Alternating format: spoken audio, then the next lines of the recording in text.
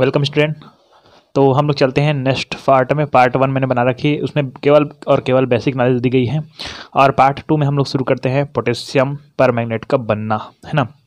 तो हम लोग नवोध के आधार पर ही आ, कुछ क्वेश्चन सॉल्व करेंगे और प्रबोध के आधार पर। तो लेकिन क्रम है वो प्रबोध के आधार पर रहेगा ठीक है? चलिए। तो सबसे पहले पोटेशियम पर मैग्नेट है ना? तो पोटेशियम पर मैग्नेट कैसे बनाते हैं है ना?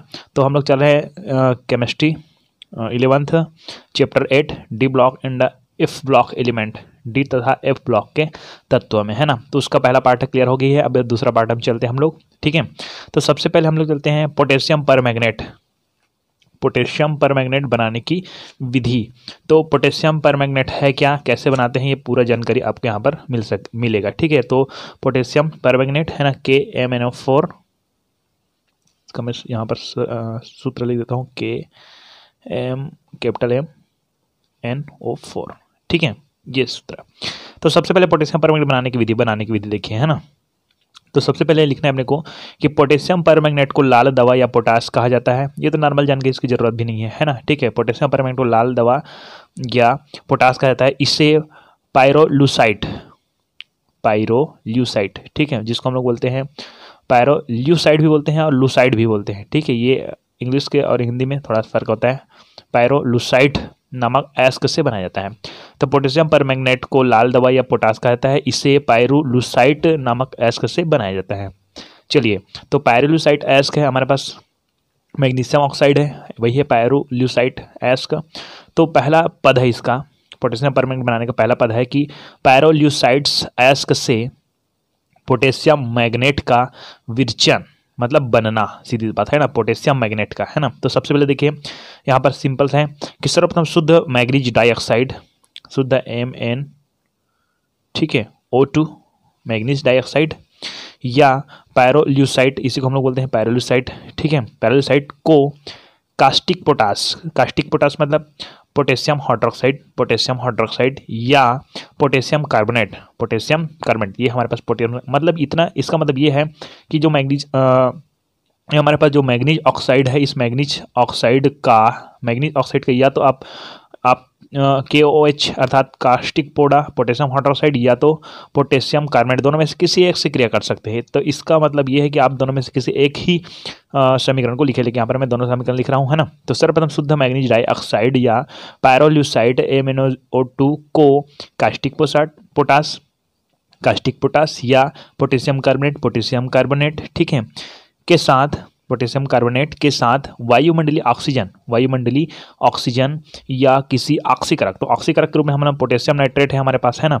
तो देख, सूत्र इन तीनों सूत्र में या तीनों समीकरण में, इस तीनों समीकरण में आप एक ही समीकरण को बनाएँगे तो भी इसका पूरा डिटेल हो सकता है या हो जाएगा, ठीक है? तो देखिए, या तो वायुमंडलीय ऑक्सीजन लेना है तो ओ लेना है और ये ले, नहीं लेते हैं तो कोई ऑक्सीकारक लेना है तो ऑक्सीकारक में के एन ओ थ्री ले सकते हैं है ना? तो किसी भी हालत में अपने को क्या बनाना है आपको पोटेशियम मैग्नेट बनाना है अपने को ठीक है?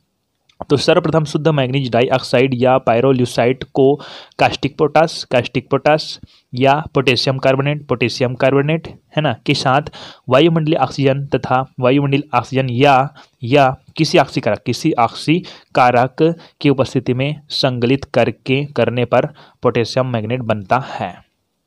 है ना? बात समझ रहे हैं आपको? या संगलित करने पर पोटेशियम मैग्नेट बनाया जाता है। ठीक है, सर्वप्रथम शुद्ध मैग्नीज डाइऑक्साइड या पैरोलिसाइड को कास्टिक पोटास या पोटेशियम कार्बोनेट के साथ वायुमंडल ऑक्सीजन या किसी ऑक्सीकारक की उपस्थिति में संग्रहित करने पर बनाया जाता है या पोटेशियम मैग्नेट बनता है। ठीक है? अब थोड़ा सा समीकरण देख लेते हैं। देखिए, हमारे पास ये मैग्नीज ऑक्साइड है। ठीक है? ये जो मैग्नीज ऑक्साइड है इस मैग्नीज ऑक्साइड का पोटेशियम हाइड्रोक्साइड से क्रिया करवाते हैं। किसकी उपस्थिति में? ओटो की उपस्थिति में। तो यहाँ पर देखिए, ये हमारे पास पोटेशियम है और पोटेशियम ये मैग्नीज से क्रिया करेगा, मैग्नीज ऑक्साइड से क्रिया करेगा। ये क्या बनाएगा आपका? पोटेशियम। ये पोटेशियम, ये मैग्नेट। क्या बना देगा ये? Potassium manganate. है ना? ये हमारे पास बनाता है और साथ ही साथ हमारे पास देख पोटेशियम निकल गया और इसके साथ निकल गया। अब बचे क्या? हाइड्रोजन बचा और ऑक्सीजन बचे। तो हाइड्रोजन ऑक्सीजन जब बचता है, वहाँ पर क्या बन जाता है? जल बन जाता है। ठीक है? और इसको समीकरण को संतुलित करके मैंने रख दी है, लेकिन यहाँ पर आपको जब समझाते टाइम है, उसको समीकरण को संतुलित करके नहीं बताया जाएगा। लेकिन आप लोग देख सकते हैं पोटेशियम का दो दिन चार हो गया इधर है। पोटेशियम का चार है। ठीक है? और यहाँ पर दिखे पोटेशियम का चार है। ओके और मैग्नीज का दो इधर मैग्नीज का इधर भी देख देते हैं, दो है। ओके ऑक्सीजन का दो दुने चार चार चार, आठ आठ, दो, दस है अपने पास तो दस यहाँ पर देखिए चार है, चार दुने आठ आठ, दो कितना हो गया, दस। हाइड्रोजन का कितना है? दो दुने चार तो हाइड्रोजन भी इसमें कितना है? चार है, ठीक है? क्लियर हो गया बात मेरी? चलिए तो आगे एक ये ये समीकरण में आप लोग पूरा कंप्लीट कर सकते हैं, लेकिन इस समीकरण को देख लेते हैं हम लोग पोटेशियम कार्बोनेट का, ठीक है? तो यह है मैग्नीज यहाँ पोटेशियम है, ये मैग्नीज से फिर क्रिया करता है, इसके साथ क्रिया करता है, और ये बनता है पोटेशियम मैग्नेट बना देता है, ठीक है? ओके? और ये ये इनके साथ क्रिया कर गया तो बचा कौन? सी ओ थ्री बचा और ओ टू बचा। तो हमारे पास सी ओ थ्री बना मतलब कौन सा बन जाएगा? सी ओ टू बन जाएगा अपने पास कार्बन डाइऑक्साइड ठीक है? तो यहाँ पर निकाल सकते हैं आप लोग। पोटेशियम का, ठीक है कार्बन का दो, ठीक है? तो इधर भी कार्बन का दो है ना? पोटेशियम का दो दिन चार इधर दो दिन चार, ठीक है, इस तरह से संतुलित करना है मेरे को ठीक है, अब ये तो हो गया किसी वायुमंडलीय ऑक्सीजन की उपस्थिति में या किसी ऑक्सीकारक की उपस्थिति में। तो ऑक्सीकारक की उपस्थिति के लिए सूत्र यहाँ पर है अपने पास, ठीक है? सूत्र नहीं, समीकरण, ठीक है? तो मैग्नीज ऑक्साइड है ये ये पोटेशियम हाइड्रोक्साइड है, ये तो रहेगा ही, कास्टिक सोडा या तो पोटेशियम कार्बोनेट दोनों में से किसी को रखना है। और के ये अपने पास क्या है? ये अपने पास क्या है? किसी अक्षी कारक है है ना? तब क्या होता है कि सीधी बात ये है कि जो पोटेशियम है है ना? ये जो पोटेशियम है, ये मैग्नीज सिक्रिया करेगा अपने पास मैग्नीस ऑक्साइड सिक्रिया करेगा और ये बनेगा पोटेशियम मैग्नेट बनाएगा। और हमारे पास के तो बचा ही है हमारे पास, ठीक है? के एन ओ थ्री तो हमारे पास बचा ही है और इससे हम, हमारे पास बचा है। तो अपने पास क्या बच गया? अपना के एन ओ टू बन गया, ठीक है? और क्या बचा? एच टू हमारे पास हाइड्रोजन बचा था, यहाँ पर पोटेशियम इससे क्रिया करते तो हाइड्रोजन बचा था ना? तो हाइड्रोजन बचा तो इसका जल बन जाएगा। ठीक है? तो ये सब आपको पता होना चाहिए कि कौन किससे क्रिया कर रहा है और क्या बनाई क्या बनाया जा रहा है। ठीक है तो ये पहला नंबर का जो पॉइंट है पायरोलिसाइड अर्थात मैग्नीज ऑक्साइड है ना उसका पोटेशियम पर सॉरी पोटेशियम मैग्नेट में, में बदलना ठीक है? तो हमको यहाँ पर प्राप्त प्राप्त हो गया क्या प्राप्त हो गया? Potassium magnet K two M four यहाँ पर लिख देना पोटेशियम मैग्नेट ठीक है? ओके तो इस तरह से ये पहला चरण कंप्लीट हो गया, है ना? चल, दूसरे चरण में चलते हैं। तो दूसरा चरण में हमारे पास क्या है? दूसरे चरण में हमारे पास है पोटेशियम मैग्नेट। तो हमको जो प्राप्त हुआ है उसको यहाँ पर लिखना है, ठीक है? तो पोटेशियम मैग्नेट की पोटेशियम पर मैग्नेट में परिवर्तन। हमारा हमारा मेन पॉइंट कौन है? पोटेशियम पर मैग्नेट का निर्माण। तो अभी हमको प्राप्त हुआ है पोटेशियम मैग्नेट बस है, ठीक है? तो पोटेशियम परमैग्नेट कैसे बनता है देखिए, कि रासायनिक विधि, है ना? तो प्रश्न इसके बहुत सारे विधियाँ हैं जिसमें से रासायनिक विधि का यूज़ करेंगे, है ना? ठीक है? और बहुत सारे विद्युत अपघटनी अब किस कारण विधि रहेगा उसको मैं नहीं बता पाऊँगा, ठीक है? ओके। तो पोटेशियम मैग्नेट के हरे पदार्थों को, है ना, जो पोटेशियम मैग्नेट प्राप्त हुआ है, हर रंग में प्राप्त हुआ है तो पोटेशियम मैग्नेट के हरे पदार्थों को सी ओ टू के साथ अपकृत कर मतलब कार्बन डाइऑक्साइड के साथ, है ना? तो ये हमारे पास पोटेशियम, है ना? मैग्नेट है। ठीक इस पोटेशियम मैग्नेट को सी के साथ मतलब सी के साथ अपकृत कर सी या ओ को इसके विलयन में प्रवाहित किया जाता है। मतलब सीधी बात है, पहले हम लोग क्या करेंगे कि ये पोटेशियम मैग्नेट है उसको सी के साथ क्या करवाएँगे? अभिकृत करवाएँगे। ठीक है, उसके जस्ट बाद क्या हो जाएगा कि उस विलियन में क्लोरीन या तो ओजोन ओ ठीक है, को इसके विलियन में क्या किया जाता है? प्रवाहित किया जाता है। फलस्वरूप हमको क्या प्राप्त होता है? के टू एमनोखोर फलस्वरूप क्या होता है अपने पास? ये यहाँ पर फलस्वरूप के टू एम फोर का, ठीक है मतलब ये पोटेशियम मैग्नेट का, है ना, का K M N O four अर्थात potassium permanganate, potassium permanganate में ऑक्सीकरण होकर गुलाबी विलयन बनाता है या बनता है। है ना? बनता है, लिख दीजिएगा, है ना? तो पोटेशियम परमैग्नेटो हरे पदार्थ को सी के साथ, चलिए। तो के टू एम वन फोर है अपने पास पोटेशियम मैग्नेट है। इसको सी से अभिकृत करवाते हैं, है ना? अभिकृत करवाते हैं, तब क्या होता है कि हमारे पास ये सी ओ टू है ना? ये सी ओ टू है पोटेशियम के साथ क्रिया करता है। ये पोटेशियम पोटेशियम के साथ क्रिया करता है, आप लोग जानते हैं, यहाँ पर देखिए ये देखिए K two C O three लिखा है यहाँ पर, है ना? तो पोटेशियम कार्बन कार्बन और ऑक्सीजन से क्या करके क्या बनाता है? पोटेशियम कार्बोनेट बनाता है। तो क्या करेगा यहाँ पर? ये पोटेशियम सामने में है और सी भी है अपने पास। तो ये इसके साथ क्रिया करता है। तो क्या बनता है? एक एक पोटेशियम बाहर निकल जाता है और ये सी ओ टू के साथ क्रिया करके क्या बनाता है? पोटेशियम कार्बोनेट बना देता है। ठीक है? पोटेशियम कार्बोनेट बनाता है तो एक एक पोटेशियम निकल गया बाहर। अब हमारे पास तो दो पोटेशियम था पहले से, है ना? तो एक पोटेशियम इसके साथ है। किसके साथ? मैग्नीज ऑक्साइड के साथ। ये ये बन गया आपका के एम एन ओ फोर मतलब यही बन गया पोटेशियम पर ठीक है? और अपने पास ये यहाँ पर ये तो क्लियर हो गया, ये अलग हो गया, ठीक है? और हमारे पास इसको संतुलित करते हैं हमारे सी ओ टू को संतुलित करते हैं हमारे पास, ठीक है? तो कार्बन की संख्या दो है। कार्बन की संख्या कितना है? दो है। तो इसीलिए आपको कार्बन की संख्या को दो करने के लिए हमको यहाँ पर दो लगाना पड़ेगा और दो लगाएँगे मतलब पोटेशियम की संख्या भी बढ़ गई। तो दो दिन कितना हो गया? चार हो गया। कितना हो गया? चार हो गया। ठीक है। चार हो गया तो पोटेशियम की संख्या करने के लिए हम लोग माँ जब इसमें दो लगाते थे। अभी मैं तीन लगाया हूँ। पहले दो लगाते हैं तो दो दिन चार हो जाता है। ये तो कंप्लीट हो जाता है। तो दो दिन चार हो जाता है तो मैग्नीस की संख्या बढ़ जाती और मैग्नीस की संख्या बढ़ जाती है तब हमको मैग्नीस की संख्या में फिर लगाना पड़ता है। दो लगाना पड़ता है। तो दो लगाएँ तो यहाँ पर पोटेशियम फिर बढ़ गया। इतना सारा पोटेशियम बढ़ गया तो पोटेशियम दो। और दो दुने कितना हो गया है? चार। चार दो कितना हो गया? छः तो छः पोटेशियम के लिए आपको यहाँ पर तीन लगाना पड़ा, ठीक है? इसलिए क्या हो गया यहाँ पर? थ्री के टू, ठीक है? तो तीन दुने कितना हो गया? छः पोटेशियम। यहाँ पर छः पोटेशियम, ठीक? और मैग्नीज की संख्या कितनी अपने पास है? तीन। मैग्नीज ऑक्साइड की है ना? है ना? तो ये तीन है अपने पास तो एक तो यहाँ दो तो यहाँ पर गया। दो तो यहाँ पर गया। लेकिन हमारे पास तीन है तो एक कहाँ गया? तो एक को अलग कर देते हैं एम एन ओ टू के रूप में। ठीक है, इस तरह से। चलिए, अब हमारे पास क्या है? या तो यहाँ पर पास देखिए, पोटेशियम मैग्नेट को हरे पदार्थ को सीओ के साथ अपग्रेड करते हैं सीओ टू के साथ अपग्रेड करते हैं, ये तो एक बात होगी। दूसरी बात यह है कि सीओ टू या O three sorry C L two या ओ थ्री को इसके विलियन में प्रहित करते हैं। तो के टू एम फोर है हमारे पास, ठीक है? इसको, इसके विलियन में हमको क्या करना है? सी एल टू अर्थात ये क्लोरीन इसको क्या करते हैं? प्रवाहित करते हैं। तो क्लोरीन है, वो क्रिया करता है किनके साथ? पोटेशियम के साथ। पोटेशियम क्लोराइड बनाता है, ठीक है? तो सबसे पहले पोटेशियम क्लोराइड बना दिया यहाँ पर के सी एल टू सॉरी के सी एल टू नहीं जलेंगे ठीक है? के सी एल बना देगा अब के सील बना देगा, क्या होगा?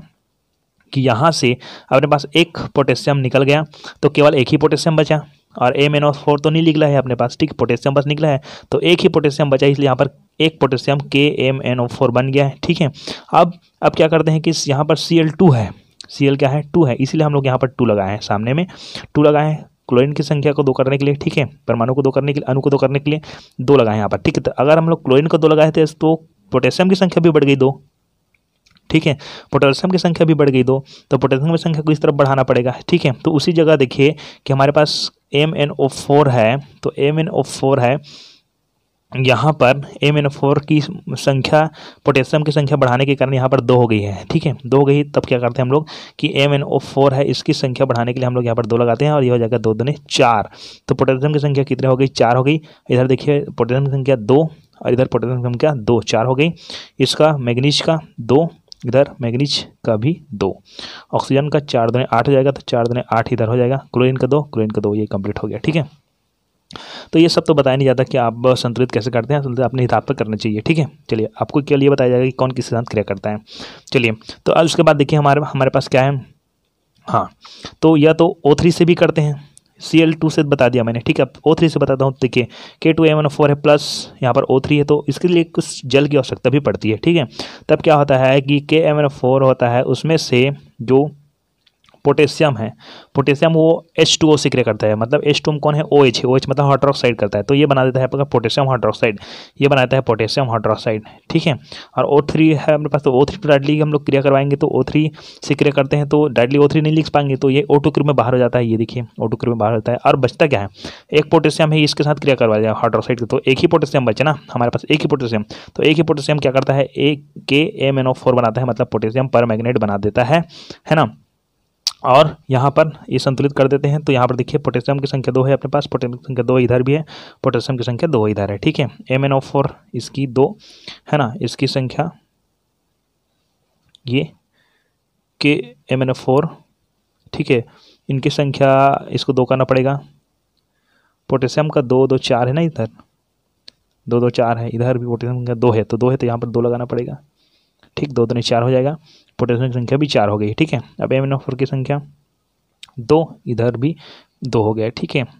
हाइड्रोजन का इधर दो है, हाइड्रोजन भी इधर दो है, ये सामने में दो लगा हुआ है।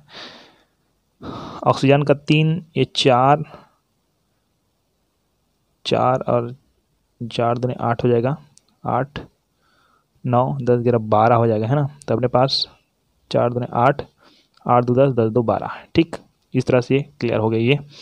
पोटेशियम पर मैग्नेट का निर्माण। तो हमको ये जो प्राप्त हुई कौन है? पोटेशियम पर मैग्नेट है, है। चलिए तो हम लोग चलते हैं अब पोटेशियम परमैग्नेट के गुण में है ना? तो पोटेशियम परमैग्नेट के जो क्रिस्टल होते हैं वो धात्विक चमक वाले धात्विक मतलब धात्विक गुण प्रदर्शित करते हैं ठीक है? धा धात्विक चमक वाले गाढ़े बैगनी रंग के होते हैं। इसका जो गलनांक है पाँच सौ तेईस के होता है। ये तो हम लोग जानते ही हैं है ना? विलेता में चलते हैं हम लोग है ना? यह जल में कुछ हद तक ही विलय है, पूर्ण विलय नहीं, ठीक है? विलयन का रंग गाढ़ा होने पर जामुनी देता है और तनु होने पर लाल गुलाबी होता है, ठीक है? उष्मा का जो प्रभाव है इस पर कैसे पड़ता है। कि तीव्र गर्म करने पर यह विघटित हो जाती है तथा ऑक्सीजन देता है। मतलब जो पोटेशियम पर मैग्नेट्स को गर्म करते हैं तो पोटेशियम मैग्नेट में विघटित हो जाती है और साथ ही साथ मैग्नेट भी अलग हो जाती है। मैग्नेट ऑक्साइड और साथ ही साथ ऑक्सीजन देता है। ठीक है? ये उसका गुण है कि इसका पोटेशियम पर मैग्नेट का, है ना? चलिए, आगे है क्षार के साथ क्रिया। तो क्षार हमारे पास है पोटेशियम हाइड्रोक्साइड है अपने पास। ठीक है? तो क्षार के साथ गर्म करने पर, जैसे कि ये जो पोटेशियम पर मैग्नेट है, पोटेशियम पर मैग्नेट को है ना, क्षार के साथ यदि हम लोग क्या करते हैं, गर्म करते हैं तो पोटेशियम पर मैग्नेट है ना, ठीक है? वह पोटेशियम मैग्नेट में अपचित हो जाती है। जो पोटेशियम पर मैग्नेट है, वो किसमें? पोटेशियम मैग्नेट में अपचित हो जाती है। और साथ ही साथ यहाँ पर हमारे पास ये जो हाइड्रोक्साइड है ना हाइड्रोक्साइड है और यहाँ पर ऑक्सीजन है तो ये मिलकर क्या बनाता है? जल बनाता है। क्या बनाता है? जल और ऑक्सीजन भी मुक्त हो जाती है ओके चलिए तो क्षार के साथ गर्म करने पर पोटेशियम पर मैग्नेट है, वहाँ पोटेशियम मैग्नेट में अपचित हो जाती है।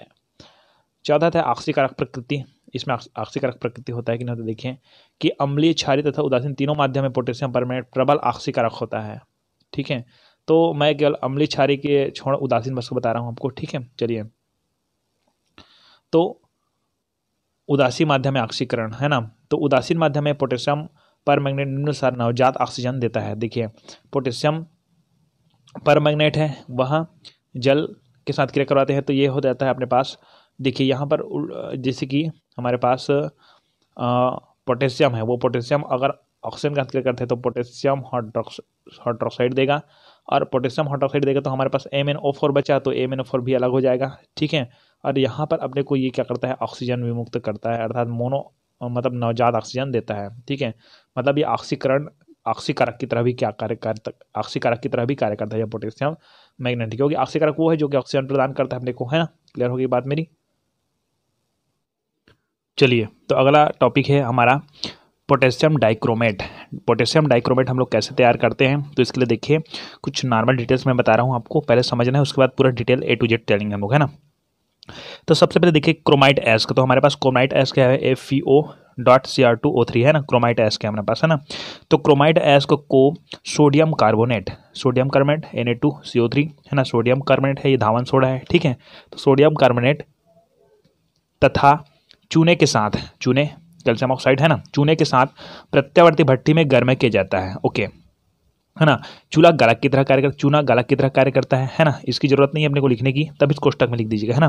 कि क्रोमाइट एस्क को देखिए, हमारे पास क्रोमाइट एस्क है क्रोमाइट एस्क को सोडियम कार्बोनेट सोडियम कार्बोनेट तथा चूने के साथ, चूने के साथ प्रत्यावर्ती भट्टी में गर्म किया जाता है। हो गया इतना, है ना?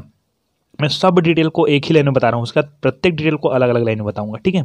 तो यहाँ पर देखिए ना अब इन दोनों को हम लोग प्रतिवर्ती भट्टी में डाल दिए, है ना?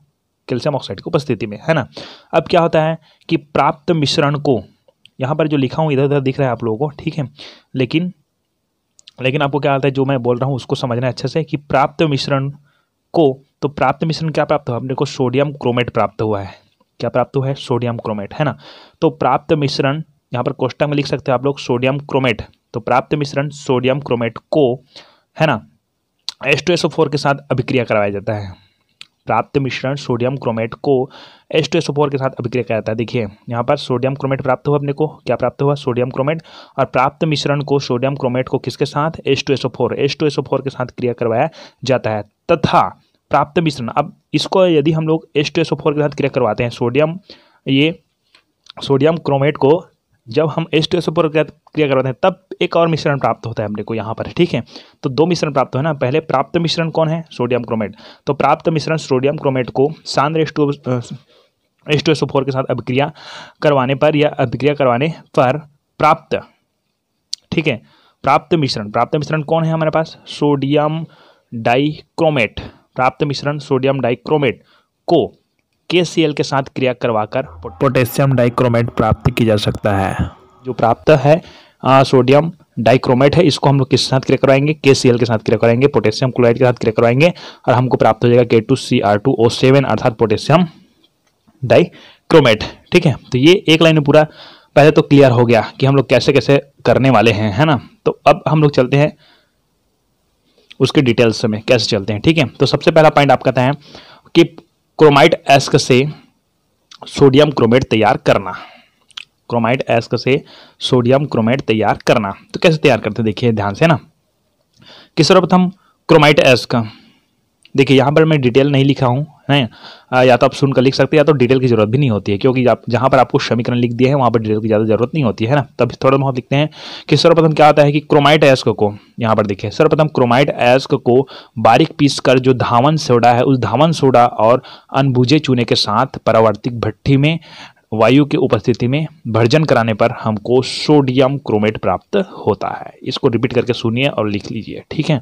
अब मैं डिटेल कर देता हूँ कैसे देखें कि सर्वप्रथम जो क्रोमाइट एस्क है, इस क्रोमाइट एस्क को बारीक पीस कर क्या कहता है? उसको धावन सोडा धावन सोडा और अनभुझे चुने अनभुझे चुने। के साथ मिलाकर पदार्थ भट्टी में डाल देते हैं। तो अब क्रिया कैसा होता है? तो ये जो सोडियम है, ये जो सोडियम है, ये सोडियम क्रिया करता है। या हमारे पास जो प्राप्त धातु है, क्रोमियम है और ऑक्साइड है। क्रोमियम का जो ऑक्साइड ऑक्साइड है, उनके साथ क्रिया करता है। ये सोडियम क्रोमेट बनाता है। इतना इनके साथ क्रिया करता है, ठीक है? तो ये बना देता है सोडियम क्रोमेट। क्या बनाता है? Sodium chromate N A two C R O से ओ फोर है ना? ये सोडियम क्रोमेट बना देता है, ठीक है? ये आपको याद करना पड़ेगा, है ना?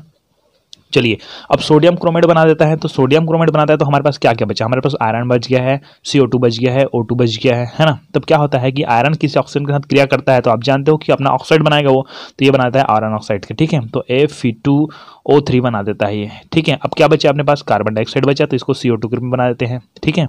इस तरह से, और इस तरह से आप इसका संतुलित भी कर सकते हैं। चलिए तो यहाँ पर संतुलित भी कर लीजिए आप लोग, है ना? एक केवल एक ही संख्यक मिलाऊँगा, मैं ज़्यादा नहीं मिलाऊँगा। ठीक है, जैसे कि अपना ऑक्सीजन है तो ऑक्सीजन है तो यहाँ पर है आठ दुने कितना हो गया? सोलह। ठीक है, सोलह। और तीन दुने छः सोलह छः हो गया, है ना? और इधर है आठ आठ आठ चौक बत्तीस।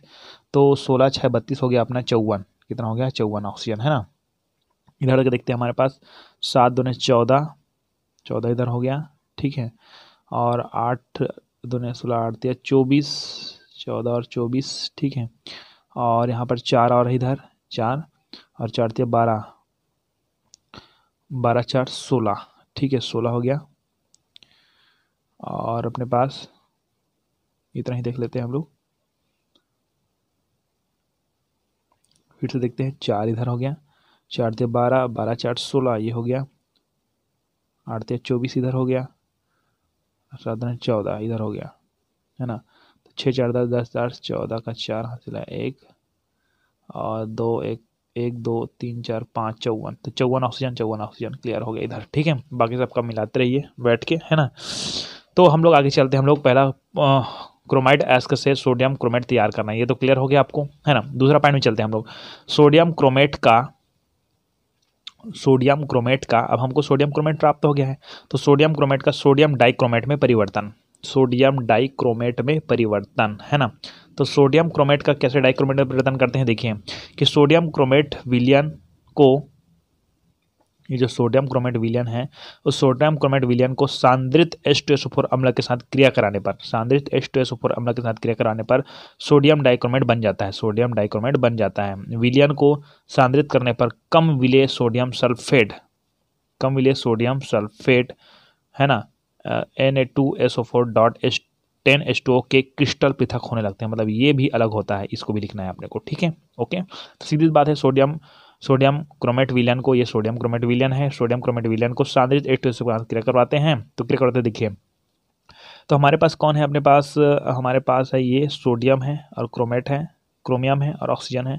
यहाँ से अपने को चार ऑक्सीजन है अपने पास, तीन ऑक्सीजन और मिल जाती है अपने पास, ठीक है? अब यहाँ पर होता क्या है? कि यहाँ पर सोडियम क्रोमेट, यहाँ पर सोडियम क्रोमेट था, ठीक है? लेकिन यहाँ पर ये जो क्रोम क्रोमियम है, ठीक है? क्रोमियम की संख्या बढ़ जाती है तो ये हो जाता है आपका सोडियम डाइक्रोमेट। यह हो जाता है सोडियम डाइक्रोमेट, है ना? अब सोडियम डाइक्रोमेट हो गया। तब क्या होता है अपने पास कि सोडियम यहाँ पर क्या बताया मैंने क्रिया में कि यहाँ पर क्या होता है कि सोडियम क्रोमेट विलियन सांद्रित एस्टोस्पान क्रिया करने पर सोडियम डाइक्रोमेट बन जाता है। सोडियम डाइक्रोमेट बना दिया हमने, ठीक है? विलियन को सांद्रित करने पर कम विले सोडियम सल्फेट तो हमारे पास सोडियम सल्फेट भी बना दिया हमने, ठीक है? सोडियम सल्फेट बना दिया। सोडियम सल्फेट बनता है क्रिस्टल ग्रुप में पृथक होता है, ये पृथक हो गया, ये दोनों लिख दिए, ठीक है? तो हम लोग देखते हैं कि सोडियम, क्रोमेट, ऑक्सीजन, ये सब निकल कर सोडियम डाइक्रोमेट बना दिया।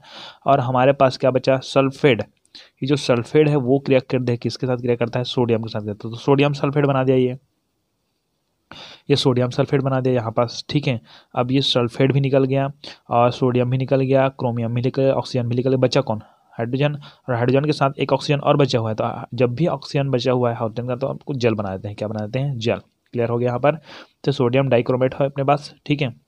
यहाँ पर अच्छा एक चीज़ और है कि सोडियम दो हो गया यहाँ पर, दो इधर और दो दो दो, चार हो गया, लेकिन यहाँ पर केवल दो ही सोडियम है तो अपने को क्या करना पड़ेगा? दो यहाँ पर साम डालना पड़ेगा, ठीक है? तो ये हो गया, ऑक्सीजन की संख्या अभी गिन लेते हैं तो चार दो ने आठ हो गया, आठ दो दस दो बारह हो गया, यहाँ पर देखिए चार दो ने आठ, और आठ दो दस दो बारह बारह बारह, ठीक है तो यहाँ पर देखें सात, आठ, दो दस दो बारह, इधर भी बारह, ठीक है? तो इस तरह से ये सेकंड नंबर का जो भी क्लियर क्लियर हो गया। अब थर्ड पॉइंट में आता है कि हमारे को क्या प्राप्त हो हमको प्राप्त है सोडियम डाइक्रोमेट तो सोडियम डाइक्रोमेट से पोटेशियम डाइक्रोमेट बनना। सोडियम डाइक्रोमेट के विलियन में के सील मिलाने पर पोटेशियम क्लोराइड मिलाने पर कम विलयशील पोटेशियम डाइक्रोमेट अवशोषित हो जाता है। मतलब हमको कि जो सोडियम डाइक्रोमेट है सोडियम डाइक्रोमेट के विलियन पर हम लोग के सील का यदि के सिलबी यदि हम लोग मिला देते हैं तो क्या होता है कि यहाँ पर जो पोटेशियम है, ये पोटेशियम वो क्रिया करता है क्रोमियम ऑक्साइड से, है ना? क्रोमियम के जो ऑक्साइड उसके साथ क्रिया करता है और बना देता है वो पोटेशियम पोटेशियम डाई क्रोमेट और वो अवक्षेप के रूप में बनाता है, ठीक है? और बचा कौन है हमारे पास? ये सोडियम बचा हुआ है, क्लोरीन बचा है तो ये बनता है आपका सोडियम क्लोराइड। इस तरह से कंप्लीट हो गई चलिए, आगे हम लोग चलते हैं पोटेशियम डाइक्रोमेट का गुण। तो पोटेशियम डाइक्रोमेट क्या करता है? देखिए, पोटेशियम डाइक्रोमेट नारंगी रंग का क्रिस्टलिक ठोस होता है, जिसका गलनांक छः सौ सत्तर के होता है, ये तो हम लोग जानते हैं, ठीक है? यह ठंडे जल में कम तथा किंतु, तथा या किंतु गर्म जल में पर्याप्त विलय है। मतलब ठंडे जल में विलय नहीं है ना, ये पोटेशियम डाइक्रोमेट है, लेकिन गर्म जल में इसको विलय कर सकते हैं हम लोग, ठीक है? उष्मा का प्रभाव, पोटेशियम डाइक्रोमेट को गर्म करने पर यहाँ पोटेशियम क्रोमेट तथा क्रोमिक ऑक्साइड में परिवर्तित हो जाती है। मतलब जब पोटेशियम डाइक्रोमेट इसको अगर गर्म किया जाता है तो यहाँ पर ये किसमें पोटेशियम क्रोमेट में है ना K two C R O seven sorry O four O seven आएगा तो डाई अपने पास अलग हो जाएगा, है ना? ठीक है लेकिन यहाँ पर ओ फोर रहना ज़रूरी है, ठीक है? अब इसमें भी घटित होता है, साथ ही साथ हमारे पास यहाँ पर ये क्रोडी क्रोमियम का जो ऑक्साइड है, क्रोमिक ऑक्साइड में भी अपघटित होती है और साथ साथ हमारे पास ऑक्सीजन भी मुक्त हो जाती है। ओके है ना? तीसरा, चौथा चलते हैं क्षार के साथ क्रिया तो कोई भी क्षार है हॉट ऑक्साइड वगैरह, ठीक है? तो पोटेशियम डाइक्रोमेट है। विलियन को क्षारी करने पर नारंगी रंग के क्रोमियम का ऑक्साइड आयन, पीले रंग के क्रोमियम का ऑक्साइड आयन में परिवर्तित हो जाती है। ठीक है? चलिए तो यहाँ पर हमारे पास है कि यदि हम लोग इसको क्षारी माध्यम के साथ क्रिया करवाते हैं तो वो नारंगी रंग के C R two O seven में परिवर्तित हो जाती है। ठीक है?